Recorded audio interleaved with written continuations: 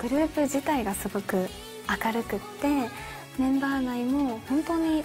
嘘だろって言われるぐらい仲が良すぎて良すぎて距離感もすごく近いですしそういうのがこう見てくださってる方々にもうまく伝わってるんじゃないかなって思うのでファンの皆さんにこう元気や勇気を与えられるようなそしてたくさんの方々に応援していただけるようなアイドルグループを目指してこれからも頑張っていきたいなと思ってます。